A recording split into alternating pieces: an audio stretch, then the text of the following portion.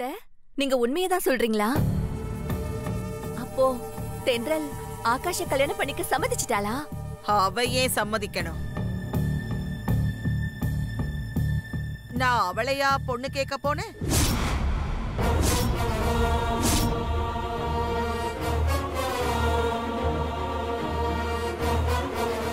என்ன குழப்புற? நீ இங்க இருந்து போகும்போது தென்றல மறுபடியும் பொண்ணு கேட்டு போறேன்னு சொல்லிட்டு தானே போன? அப்படின்னு நான் சொல்லலையே. நீங்க மூணு பேரும் தான் அப்படி சொல்லிக்கிட்டீங்க.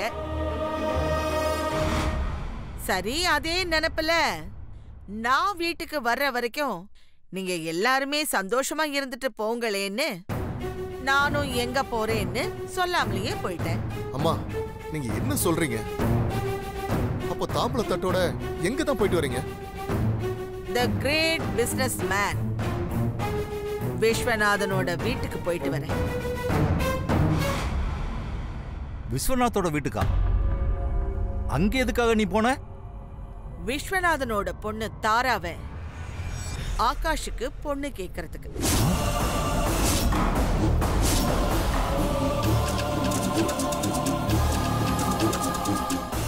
ஆகாஷ கல்யாணம் பண்ணிக்கிறதுக்கு தாராவும் சம்மதிச்சுட்டா? அவங்க அப்பா விஸ்வநாத்தும் சம்மதிச்சிட்டாரு.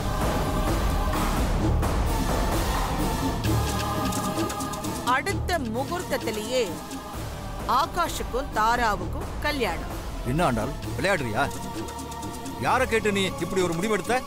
நான் யார கேட்கணும்? என் பேரனுக்கு யார கட்டி வைக்கணும்னு எனக்கு தெரியும். நான் யாரையும் கேட்க தயாரா இல்லை. அம்மா இந்த விஷயத்துல நீங்க எங்களை கூட கேட்க வேண்டாமா? ஆனா ஆகாஷ கேட்கணும்ல. அவன் எப்படி இதுக்கு சம்மதிப்பான் நான் சொன்னா என் பேரன் எதுக்கும் சம்மதிப்பான் பாட்டி.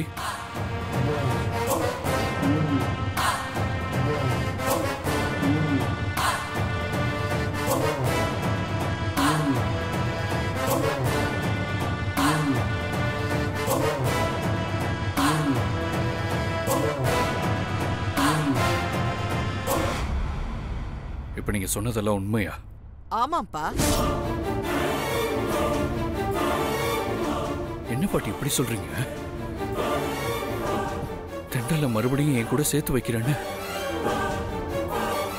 நீங்க எனக்கு வாக்கு கொடுத்துருக்கீங்க.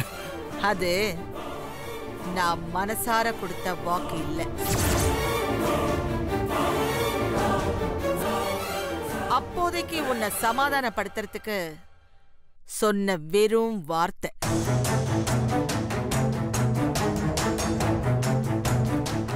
இப்ப சொல்லிக்கிட்டு இருக்கேன் பாத்தியா? தாராவதா நீ கல்யாணம் பண்ணிக்கணும்னு. இதுதான் நான் மனசுல இருந்து சொல்ற வார்த்தை.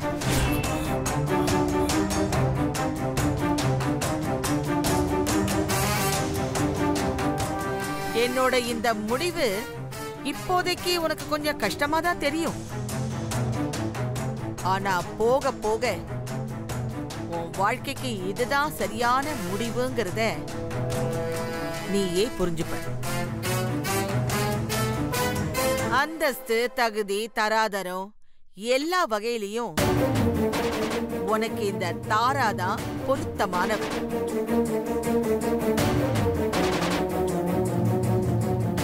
அதனால நீ அவளைத்தான் கட்டிக்கணும். புரியுதா ஆகாஷ்? பாட்டி உங்களை எதிர்த்து பேச எனக்கு விருப்பம் இல்லை பாட்டி. இருந்தாலும் ஒரே ஒரு விஷயத்தை மட்டும் சொல்லிக்கிறேன். என் மனசுல எப்பவுமே தென்றலுக்கு மட்டும்தான் இடம். தென்றலை தவிர இன்னொருத்தையும் என்னால நினைச்சு கூட பார்க்க முடியாது. இதுக்கு மேல உங்க விருப்பம்.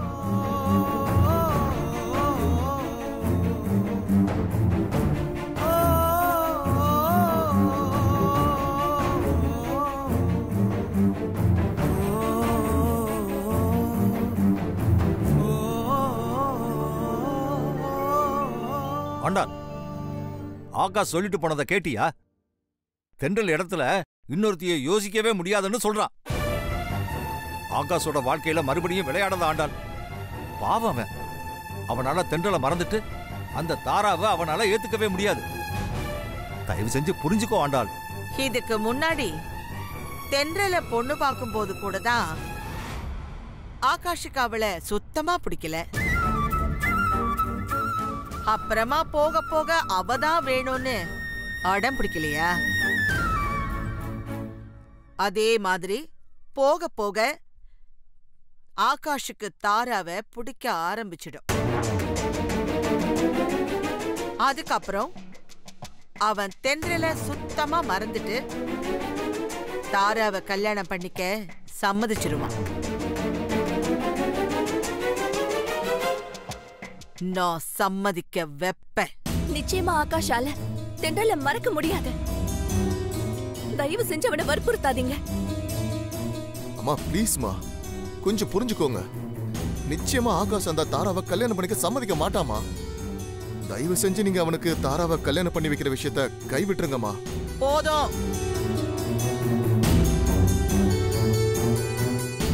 ஆகாஷ் கல்யாண விஷயத்துல நான் எடுக்கிறது தான் முடிவு.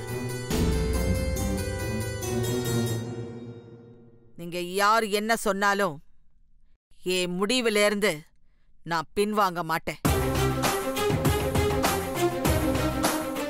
வெட்டியா புலம்புறத விட்டுட்டு அவங்க அவங்க போய் வேலைய பாருங்க.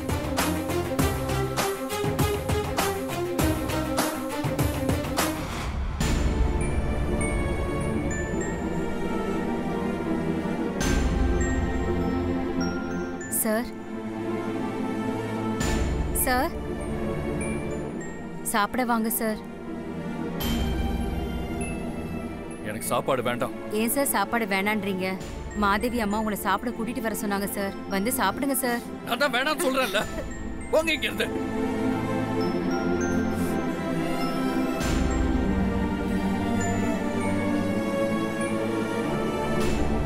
என்னாச்சு? ஆகாஷ் சாப்பிட வரானா? இல்லம்மா. அவர் சாப்பாடு வேண்டான்னு சொல்லி என்னை திட்டி அனுப்பிட்டாரு.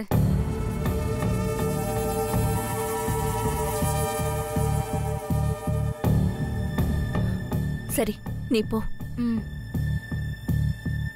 சரி. ஆ சரி. நான் கூப்பிடுறேன்.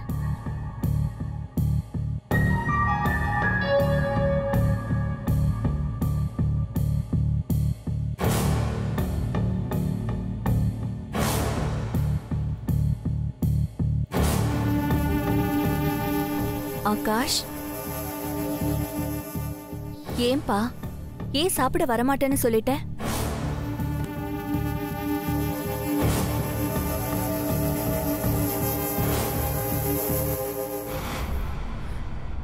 எனக்கு புரியுது ஆகாஷ்? உன்னால எப்பவுமே தென்றல மறக்க முடியாத. ஆனா இது உன் பாட்டிக்கு புரியலையே. அவங்களுக்கு உன் வாழ்க்கையை விட அவங்களோட வீம்பு தான் முக்கியம். அதனாலதான் மனசாட்சியே இல்லாம இப்படி ஒரு முடிவு எடுத்து வச்சிருக்காங்க. இப்பவாவது உன் பாட்டி கிட்ட எனக்கு தென்றல் தான் வேணும். அவளை தவிர வேற யாரையும் நான் கல்யாணம் பண்ண மாட்டேன்னு தைரியமா கொஞ்சம் பேசுவேன்னு நான் எதிர்பார்த்தேன். ஆனா நீ என்னடானா தென்றலை என்னால மறக்க முடியாது. அதுக்கு மேல உங்க இஷ்டம்னு பொத்தாம் பொதுவா சொல்லிட்டு அமைதியா இப்ப இங்க வந்து உட்கார்ந்துட்டு இருக்க இப்படி நீ சாப்பிடாம கொள்ளாம பட்னியா கிடந்தா மட்டும் உன் பாட்டி அவங்க முடிவை மாத்திப்பாங்கன்னு நினைக்கிறியா? அதுக்கெல்லாம் வாய்ப்பே இல்ல ஆகாஷ். நீ தைரியமா உன் பாட்டி கிட்ட வந்து நான் தென்றல தான் கல்யாணம் பண்ணிக்குவேன். உங்க இஷ்டத்துக்கு அந்த தாராவெல்லாம் என்னால கல்யாணம் பண்ணிக்க முடியாது. அதனால அந்த முடிவை இப்பவே நீங்க கைவிட்டுடுங்கன்னு உன் பாட்டி கிட்ட போல்டா பேசு ஆகாஷ். அப்பதான் தென்றல் உனக்கு கிடைப்பா. வா ஆகாஷ். வா வந்து உன் பாட்டி கிட்ட தைரியமா பேசு. வா வா. கையை விடுங்க.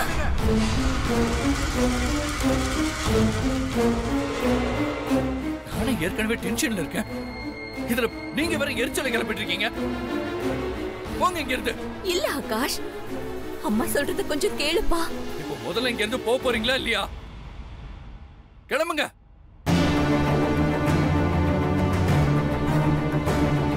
இனி உன்கிட்ட பேசி பிரயோஜனம் இல்ல. உன் பாட்டி கிட்டயே பேசிக்கிறேன்.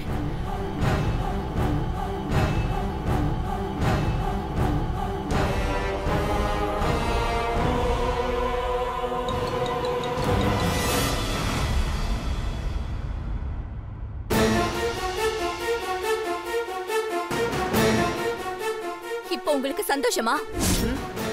அநியாயமா என்கிட்ட இருந்து என் பிள்ளைய பிரிச்சு வச்சீங்க? இப்போ உங்க வீம்புக்கும் வீராப்புக்கும் என் பிள்ளையோட வாழ்க்கையே பறி கொடுக்கணும்னு நினைக்கிறீங்களே? ஏன் அத்தை? உங்களுக்கெல்லாம் மனசாட்சியே இல்லையா? ஏன் இப்படி அரக்கத்தனமா நடந்துக்கிறீங்க? என்னடி? சத்தம் ஓவரா இருக்கு. அப்படித்தான் இனிமே சத்தம் ஆ? என்ன பண்ணுவீங்க?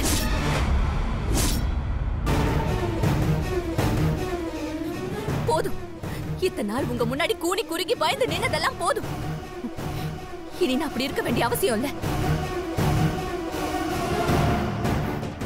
இதோ பாருங்க உங்களை பார்த்து என் புள்ள வேணா பயப்படலாம். நான் பயப்பட மாட்டேன்.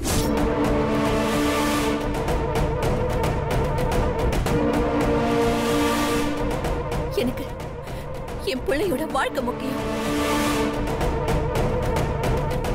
அவன் ஆசைப்பட்ட மாதிரி தென்றல தான் அவன் கல்யாணம் பண்ணிக்கணும். உங்க இஷ்டத்துக்கு கண்டவள எல்லாம் கல்யாணம் பண்ணிக்க கூடாது. அதுக்கு நான் சம்மதிக்க மாட்டேன். ஏய் என்னடி சம்மதிக்கிறது? ஆகாஷ் என் பேரன் ஆ அதுக்கு முன்னாடி ஆகாஷ் ஏன் புள்ள?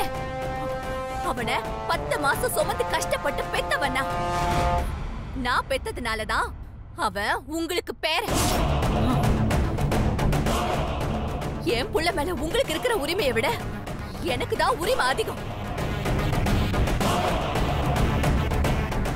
என் புள்ள யார கல்யாணம் பண்ணிக்கணும்? அவ வாழ்க்கை எப்படி இருக்கணும்ன்றதெல்லாம் நான் தான் தீர்மானிக்கணும். நீங்க இல்ல. ஏய் போதும்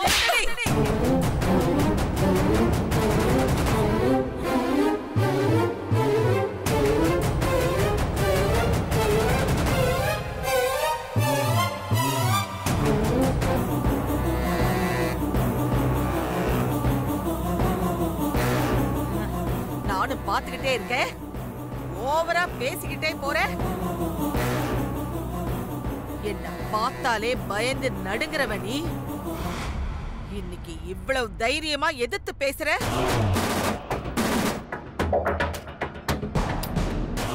யார் கொடுத்த தைரியண்டி இது? பாத்தி ஆகாஷ்?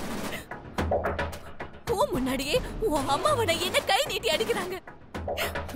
இப்பவாவது உன் பாட்டி கிட்ட நியாயத்தை கேட்க மாட்டியா? என்னத்த கேட்க சொல்றீங்க? இருக்கிற டென்ஷன்ல தேவையில்லாம பேசி வம்ப வளர்த்துக்கிட்டு.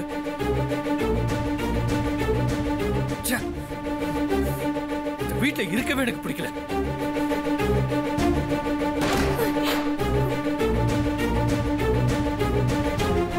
மாதவி ஆதங்கத்துல அவ பிள்ளைக்காக சப்போர்ட் பண்ணி பேசுனா அதை புரிஞ்சுக்காம எதுக்கு அவ மேல நீ கை நீட்டுற? இதெல்லாம் ரொம்ப தப்பு. மரியாதையா அவகிட்ட நீ மன்னிப்பு கேளு. என்னது?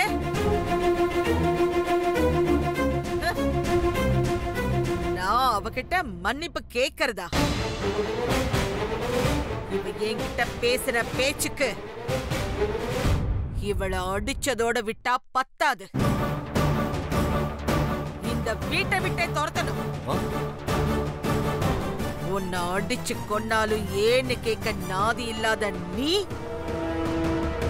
என்னை எதிர்த்து கேள்வி கேக்குறியா இதுக்கு மேல உனக்கு இந்த வீட்ல இடம் இல்ல. மரியாதையா போட இங்க இருந்து நான் எதுக்காக போகணும்? இது என் புருஷ வீடு. அவரை வந்து சொல்ல சொல்லுங்க. அதுக்கப்புறம் நான் இங்க இருந்து போறேன். ஏய் அவன் என்னடி சொல்றது? இது என்னோட சாம்ராஜ்யம். இனி உன் புருஷனே தடுத்தாலும் நான் உன்னை இருக்க விட மாட்டேன். போடை மரியாதையா இங்க இருந்து. அத்தை, விடுங்க. ஆண்டாள் சொல்றத. மாமா. அத்தை, தெரியாம. விடுங்க.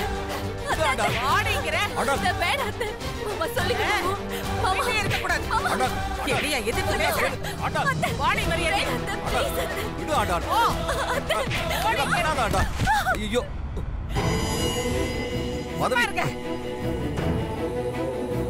இனிமே நீ இந்த வீட்டு பக்கமே வராத.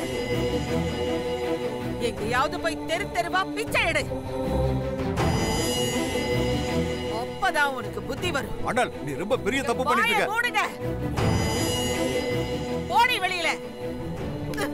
வாங்க உள்ள. சொல்ல சொல்றத கேளு. எங்கேயாவது போய் தொலையிட்டோம். அத்தை.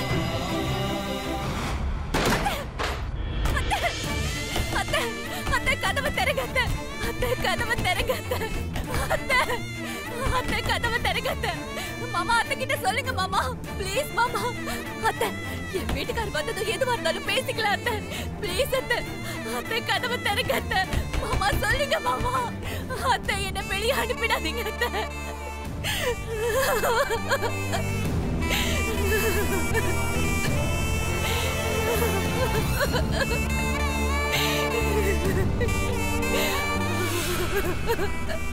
மாமா. அத்தை கதவை திறங்க.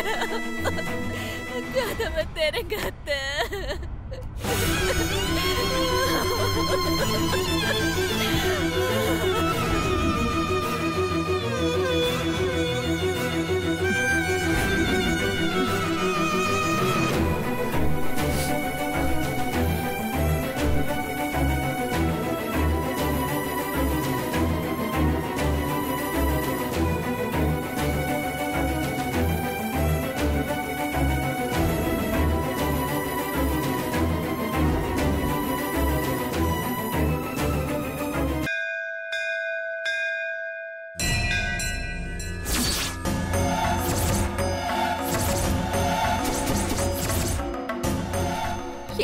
அப்படி இப்படி படைச்ச நான் அப்படி என்ன பாவம் பண்ண?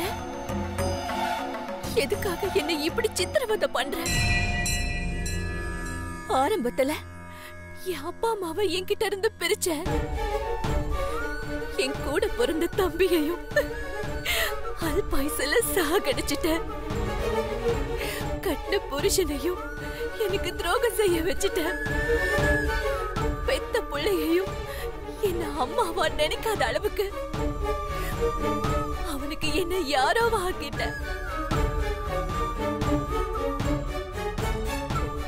என் புள்ள கண்ணு முன்னாடியே என் மாமியார் என் கண்ணத்துல அரைஞ்சு என்ன வீட்டை விட்டு வெளியே துரத்திட்டாங்க.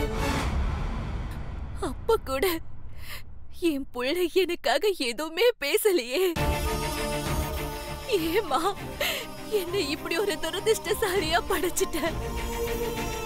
இதுக்கு மேலயும் நான் உயிரோட இருக்கணுமா? சொல்லுமா? சொல்லு.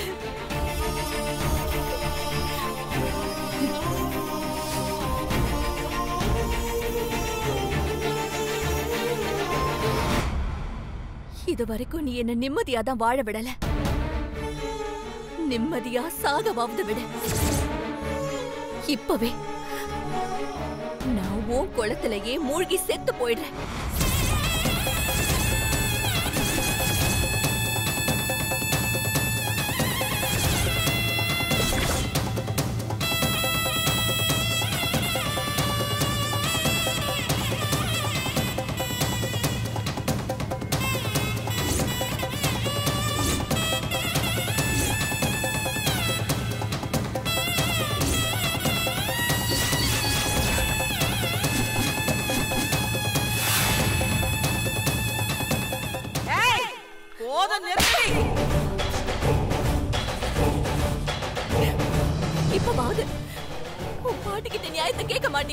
என்னத்த கேட்க சொல்றீங்க? இருக்கிற டென்ஷன்ல தேவையில்லாம பேசி வம்ப வளர்த்துட்டு இருக்கீங்க.